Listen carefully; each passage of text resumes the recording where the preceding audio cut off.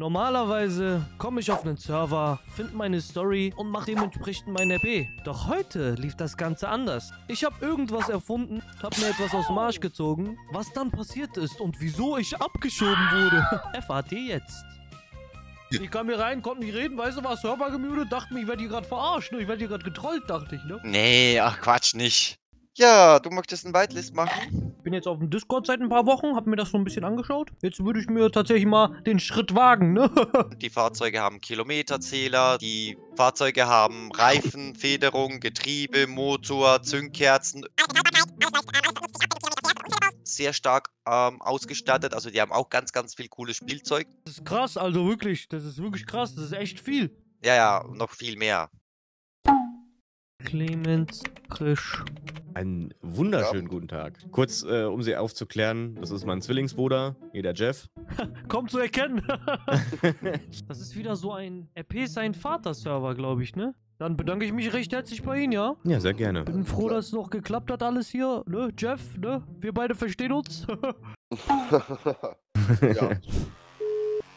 Das Anti-Police Department Hintermann am Apparat. Bitte schildern Sie Ihren Notruf.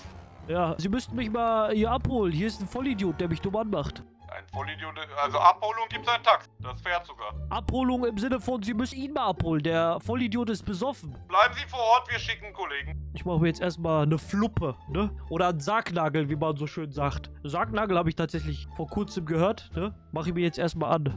Los Anti-Police Department Hintermann am Apparat. Was schreien Sie denn so? Schicken Sie mir mal lieber ein Fahrzeug. Wo bleiben Ihre Kollegen denn? Ja, ist doch auf dem Weg. Was willst du von meinen Eiern? Ja, was ist denn Ihr Problem? Am Ende werde ich ihn noch zusammengeschlagen. Ja, ist doch schon auf dem Weg. Ja, verdammte Scheiße, ballen Sie sich mal lieber. Sag mal, was ist denn los? Der ist abgehauen. Schnell hinterher. Fahren Sie, fahren Sie los. Stopp! Fahren Sie los. Wir müssen hinterher. Wir fahren nicht los. Steigen Sie bitte aus dem Streifenwagen aus. Der Mann ist zum Würfelpark gefahren. Was machen Sie denn hier? So, jetzt mal ganz langsam erstmal. Kommen Sie runter, beruhigen Sie sich mal ein bisschen. Ja, ich warte hier seit 20 Minuten. Warte ich hier, kommen Sie die ganze Zeit nicht? Ich muss zehnmal anrufen, dass hier jemand vorbeikommt. Das kann doch nicht wahr sein. Dann machen Sie einen anderen Job, wenn Sie keinen Bock haben. Ganz einfach. Versuchen Sie sich jetzt mal ein bisschen zu beruhigen. Was ist passiert? Ja, hier war gerade ein Volldepp, der hat mich angegriffen, ja. Was Äh, hat er gemacht? Der wollte mich umlegen. Der hat mich bedroht. Der wollte mein Geld haben, habe ich ihm gegeben. Und was hat er zu Ihnen gesagt? Der hat zu mir gesagt, dass er mir den ablutschen will. Und der war ganz komisch drauf. Hätten sie sich einfach mal beeilt, ne? Dann wäre der Ball auch nicht abgehauen. Sollen wir die Mediziner rufen, dass Sie mit denen mal sprechen können? Oder können wir Sie jetzt hier guten Gewissens alleine lassen? Nee, alleine nicht. Sie nehmen mich jetzt mit an den Würfelpark. Ich werde bestimmt hier nicht jetzt bis zum Würfelpark laufen. Wenn überhaupt, entscheide ich, ob ich Sie mitnehme oder nicht. Und das entscheiden nicht Sie. Warten Sie, warten Sie mal. Wollen Sie mich jetzt eigentlich verarschen? Erstmal kommen Sie zu spät. Ich werde hier fast niedergestochen, ja? Dann wird mein Roller noch geklaut. Ich soll doch hier zu Fuß laufen. Dann machen Sie mich jetzt noch blöd an von der Seite. Ist das heute, ist das heute versteckte Kamera hier eigentlich? Wir sind auf dem schnellsten Weg hierher gekommen. Haben Sie sich wahrscheinlich untereinander noch die Poperze, die Zunge reingesteckt, ne? Untereinander. Wissen Sie was? Ich scheiße auf Ihre Arbeit. Ihr seid sowieso nicht kompetent. Fahrt mich zum Würfelpark und gut ist. Sind wir die Wohlfahrt oder was? Erst motzen sie uns an, weil wir zu spät kommen. Wir kommen nicht zu spät, wir sind nicht die Wohlfahrt. Wir können nicht von jetzt auf gleich mal hier auftauchen. Ihr Kollege, werd nicht lauter, sonst gibt's gleich einen auf dem Deckel, mein Freund, ja? Hast du mich verstanden? Mach deinen Job vernünftig und mach die Bürger hier nicht an. Der Einzige, der hier respektlos redet, sind leider Sie. Ich hab dreimal angerufen, hab gesagt, kommt, kommt, ihr seid nicht gekommen, ihr seid für mich keine vernünftigen Polizisten, ganz einfach. Wir Weil wir fahren nicht mit zu 100, Ihnen. 400 durch die Stadt. Wir müssen auch auf die Bürger gucken. Ich scheiß auf ihre Bürger und was auch immer. Wenn die ein Notfall ist, dann haben sie sich zu beeilen, ganz einfach. Alles klar, wenn nochmal irgendwas sein sollte, rufen Sie an. Warum? Bringt doch nichts. Ihr kommt doch sowieso nicht. Bringt doch nichts. Wenn Sie merken, dass Sie, irgend dass Sie das Thema doch beschäftigt, Sie nachts vielleicht nicht mehr so gut schlafen können, melden Sie sich gerne im PD. Wissen Sie, wie ich gut schlafen könnte abends? Wie denn? Wenn sie sich zu mir legen. ich glaube, damit hätte mein Mann ein Problem. Ja, aber ich nicht. Lustig. Komme ich jetzt noch mal mit Ihnen, ja? Nee, kommen Sie nicht. Warum? Wir sind nie wohl, weil sie kommen nicht mit. Wieso denn? Oh, das wollte ich gar nicht. Gut, dann fahre ich halt alleine. Ja, irgendwie muss ich hier ja wegkommen, ne? Sofort aussteigen. Guten Tag, kann ich Ihnen helfen? Sofort aussteigen. Äh, warum? Weil das nicht Ihr Streifwagen ist. Steig aus. Schreien Sie mich doch nicht so blöd an, Mann. Was ist los mit denen? Aussteigen. Halten Sie Ihre Fresse. Mal gucken, wer wen bekommt, Digga. Guck mal, Leute, das Ding ist, ich habe so lange Serious GTA RP gespielt, ne? Und in Sachen Verfolgungsjagden bin ich der krasseste. Bin ich der krasseste. Bin ich der krasseste. Okay, das war nicht geplant. So. Das war's. Ja, guten Tag, Sie Volldepp. Ich wollte nur sagen, dass ich Ihren Polizeiwagen geklaut habe, ne? Würde den zurückgeben. ja, was, wenn ich nicht tue? Warum gehen Ihre Mitarbeiter denn ihrer Arbeit nicht nach? Ich wäre fast ums Leben gekommen. Das, was Sie machen, ist eine Straftat. Geben Sie ihr das Fahrzeug zurück. Ah, eine Straftat und Bürger außer Acht zu lassen, zu warten, bis die Bürger angegriffen werden, umgebracht werden, ist, ist keine Straftat oder was? Nein, wir sind das angefahren. Seien Sie mal ruhig jetzt. Da können die Officer sich schön die Palme wedeln, während ich angegriffen werde. Aber wenn ich dann was mache, ist es eine Straftat. Wissen Sie was? Also geben Sie das Fahrzeug zurück oder nicht? Sie sind schon auf Verhandlung. Lecken Sie mich am Arsch, Sie Volldepp. Haben Sie das verstanden? Gut. Bin auf Verhandlung also. ja? Ich werde also von der Polizei gesucht. Hm? Okay. Guten Tag, Kollege. Ich habe gerade meine äh, Dienstkleidung. Ich bin gerade hier wach geworden. Meine Dienstkleidung ist irgendwie verschwunden. Kannst du gerade mein Auto reparieren? Sehe ich aus wie ein Mechaniker? Was bist du denn? Bin Medic. Medic, was machst du hier oben? Ich hab hier gerade in den Katalog reingeschaut. Was ist denn hier sonst so los in der Stadt? Warum trifft man hier, trifft man denn hier keinen? Ähm, wie heißen Sie denn? Was spielt das für eine Rolle? Ja, würde ich vielleicht mal äh, Dispatch schirmen. Warum sind die Cops hier? What the fuck? Warum sind die Bullen hier, Leute?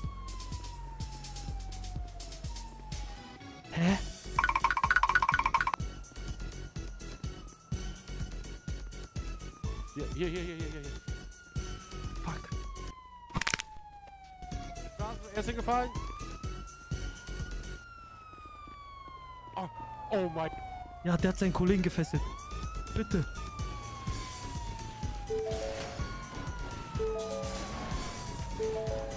Scheiße.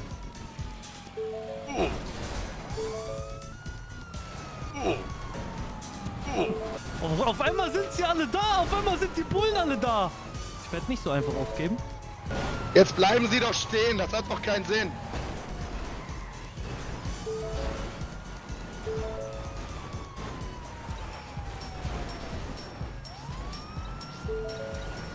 Gib auf, du hast keinen Schaden.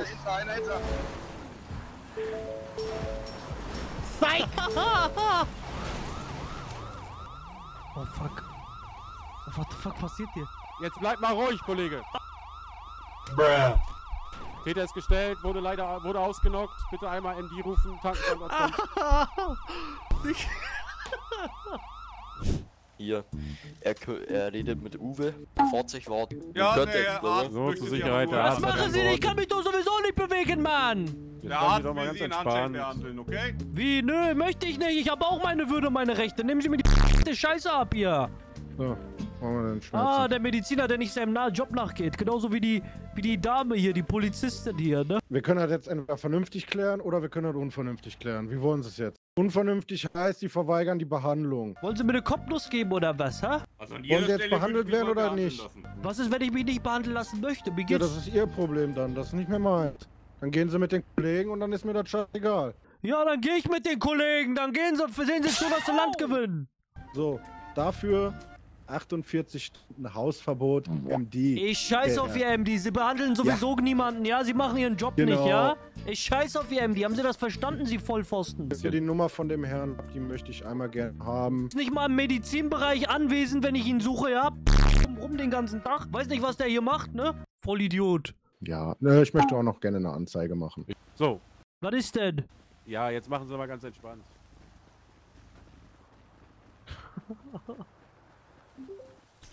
Ah, Jetzt pass mal auf, Kollege, du bist aggressiv, du bist, du, du flüchtest andauernd. Ja, dann bleib so. schrei mich doch nicht an, es geht nicht! Nein, nicht! Du schreist doch mich an, was willst du denn von mir? Ich setz mich hier vorne auf den du Stein. Ich setz mich hier auf den Stein, Mann, entspann dich! Du bist ein Held.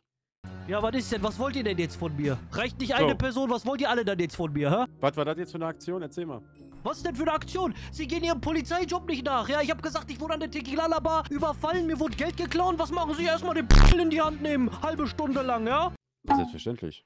Ja, selbstverständlich. Bin ich kein Bürger dieser Stadt, dieses Landes? Doch. Und was machen sie dann hier den ganzen Tag? Aber wenn Sie anrufen, hat der Einsatz nicht höchste Priorität, nur weil Sie es sind. Auf jeden Fall ist heute nichts los hier. Dann kann ich doch mal wenigstens erwarten, dass die Polizei zu mir kommt und mir hilft. Ja, und jetzt? Ja, was und jetzt? Das finde ich scheiße von euch. Ihr macht eure Arbeit nicht. Kleiner Gockel. Wie, wie redest du mit mir? Ja, äh, bist Halt du gerade in. Hand? Nee, bist Soll ich dir in die Fresse hauen? Hä? Ja, komm, probier's mal. Oh, bist du Oh, immer noch so frech, du Vollidiot. oh, was haben sie gemacht, sie Vollpfosten? Das ist... Ah, das ist... Wirklich? Wer hat das gesehen? Wer hat das gesehen? Was wäre es denn, wenn, wenn ich jetzt hier nochmal so? Die sind alle korrupt, die Schweine. Alles korrupte Schweine. Lassen Sie mich jetzt los, Mann. Ja, steig mal ein hier. Korrupte Scheißbullen. Schnall ich dich noch einmal an. Ja, sehr schön. Holen Sie mich erstmal aus, dem- aus dem Auto raus, ne, Sie Vollidiot.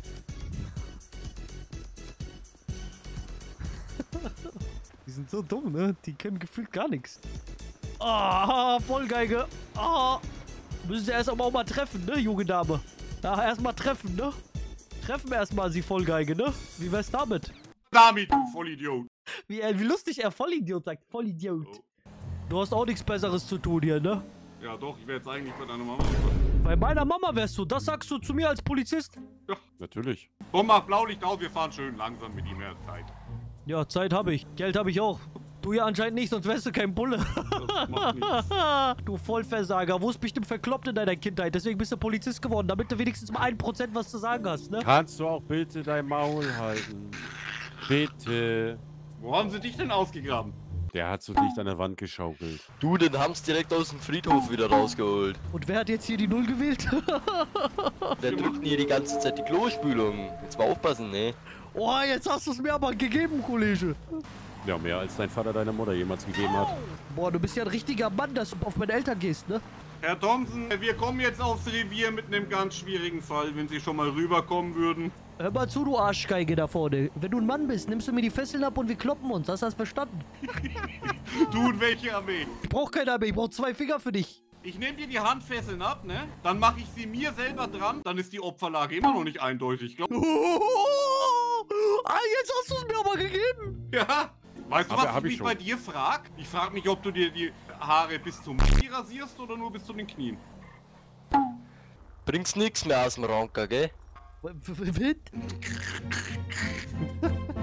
Hast du dich gerade auf eine Pringles-Dose gesetzt, oder was? Nee, auf deine Mutters Kopf, Vollfaust. Ey, diese Bullen sind lachig. Ja, jetzt hast du gar nichts. Oh. Jetzt bleib stehen! Du Drecksau! Verstehst du das nicht? Ich wollte mich hier hinsetzen, Mann. Bleib doch mal locker. Du hast bleib dich nicht hinzusetzen. Bleib doch mal locker, entspann dich doch mal, du Oh, Beamtenbeleidigung. Warum nimmst du mir mein Geld ab? Bist du blöd? Ja, ich hab mich jetzt an dir bereichert, du kleine Drecksau. Jetzt kannst du dich hinsetzen. Er hat mich einfach beklaut, der Kopf. Komm, jetzt halt's Maul. Ja, jeder hat's gesehen, wie du dich an mir bereichert hast, ne? Natürlich. Ja, hat's jeder gesehen und keiner macht was. Ihr seid alle korrupt. Natürlich sind die korrupt. Ich wurde äh, hier dazu gerufen, um mir das Ganze mal anzuschauen. Sie haben genug gesehen, glaube ich. Sie haben, glaube ich, ges gesehen, was der Mann auch zugegeben hat, ne? In meiner Anwesenheit. Dass er sich an mir bereichert hat. Inwiefern hat er sich denn bereichert? Indem er mein Geld in seine Tasche gelegt hat und für sich beansprucht hat. Und das kann wer beweisen? Die haben es doch gerade zugegeben, sie voll. Der, der Anwalt stand Ich- doch rechts Hä? daneben. Ja, im Alter ist das nicht mehr so mit, mit dem Gedächtnis, ich weiß schon. Du bist die größte Drecksau, die hier rumläuft. Du bist so ekelhaft. Also wirklich. Also wie er die schnellste Spermie war, frage ich mich wirklich. So, wie kommen wir denn jetzt hier voran? Das bringt uns alle ja nicht weiter. Indem du das Maul hältst und dann vielleicht mal Also- hier den, den, den Herrn im Anzug zuhörst. Ja, dann, dann musst du auch mal das Maul halten, ne? Warum sehe ich alles so verschwommen? Weil du behindert bist. Also davon distanziere ich mich. Über Behinderung macht man sich nicht lustig und man lacht auch nicht drüber. Ja, natürlich lacht man darüber. Lacht man darüber? Ja, komm, jetzt halt's Maul und hör zu, Junge. Ach du Scheiße, du bist ja ein widerwärtiger Gut, Mensch. Was, Jetzt- was ist denn. Mein was, Herz, was ist denn mein, mein? Puls, mein Puls schlägt sehr schnell. Kann sein, dass ich hier gleich umkippe. Äh, das Problem ist, Herr, Ja. Herr Thompson, der Arzt wird diesen Herrn nicht mehr behandeln. Der hat auch Hausverbot und MD bekommen. Sehr schön. Ein Arzt, der seiner Pflicht nachgehen soll, geht nicht seiner Pflicht nach, ne? Super. Ein Arzt rettet Leben, ihr Vollgeigen. Da ist das egal, wie sich der Mandant, Patient, was auch immer aufführt, ja? Du bist doch abgehauen bei der Behandlung. Jetzt wir dir uns mal geb ich dir eine Kugel, ehrlich. Kugel kannst du deinem Eisverkäufer geben, du Vollpfosten. Beruhigen wir uns mal eine Runde. Also, Ihnen geht's gesundheitlich gerade nicht gut. Habe ich das richtig Richtig, ich verstanden? werde jeden Moment umkippen. Oh. Oh! War jetzt nicht Oh. Wie er es abfeiert, Digga. Also, die Männer haben mich mehrmal, mehrfach getasert, ja.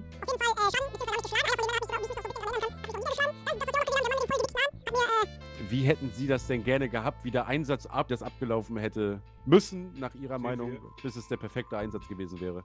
Ja, perfekt wäre es einfach gewesen, wenn sie voll Spaten einfach mal pünktlich zum Gut, ich Einsatzort möchte mich gekommen nicht wären. weiter unterhalten. Ja, dann geh weiter heulen. Wir müssen irgendwie zu, irgendwie, ja, ja frisch, Sie müssen, also, Ja. müssen wir jetzt rum, wenn es geht, alles ohne klar. beleidigen, beißen Sie jetzt einfach 10 Minuten oder 20 in einen sauren Apfel und äh, ansonsten müssen wir halt weitere Maßnahmen machen. Ich hätte mir gewünscht, dass die Officer-Kollegen einfach mal zum Einsatzort gekommen wären, ihren, Ab ihren Job gemacht hätten und wieder abgerückt werden. Fertig. Aber nicht mal für sowas sind die ja gut. Nicht mal sowas kriegen die ja hin.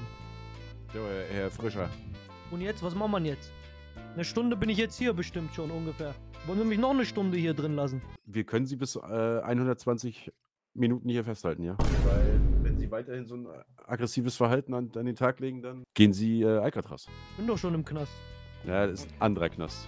Ich bin doch kein Schwerverbrecher. Dann, Was hab äh, ich mit Alcatraz zu tun? Ich rufe den Kollegen einmal an, der kommt dann her Ja. und der kann das mal mit Alcatraz ein bisschen erklären, ja? Äh, Aktuell, Herr Frisch, haben wir das, äh, das Problem, es gibt im Gesetz Präventivhaft. Sie sind sehr aggressiv und mehrere Behörden und Stellen schätzen sie so aggressiv ein, dass es eine Gefahr für die Allgemeinheit darstellen könnte. Ich weiß jetzt nicht, inwiefern wir das anders klären könnten. Wir könnten das klären, indem der Aufpasser sich bei mir entschuldigt, meine Sachen gibt und das Thema dann für mich gegessen ist, ne? Er soll sich bei mir entschuldigen für sein Verhalten, dafür, dass er mich gepfeffert hat, dafür, dass er mich geschlagen hat. Soll sich bei mir entschuldigen, dann ist das Thema für mich zu. Geschlagen hat er sie auch. Natürlich, das habe ich Ihnen doch gesagt. Der hat mich auch mehrmals gepfeffert. Schauen Sie mal, die machen alle auf unschuldig, ja? Dabei sind die alle korrupt. Die decken sich untereinander alle, ja? Ich kann mit ihnen ganz normal reden, Sie sehen das auch. Ich kann auch ganz normal reden. Aber was soll ich da mit so korrupten Arschlöchern mich da Hm. vernünftig noch unterhalten? Sagen Sie mal. Das bringt doch eh nichts. Hätten Sie mal gesehen, als sie was für einen Aufstand die oben ins Handyschoss gemacht haben. Als acht Leute waren und ich war alleine. Der eine schlägt mich, der andere pfeffert mich, der andere fesselt mich, der andere macht. Das war.